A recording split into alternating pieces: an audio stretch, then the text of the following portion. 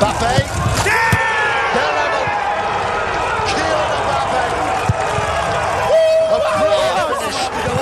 Taking on Dest.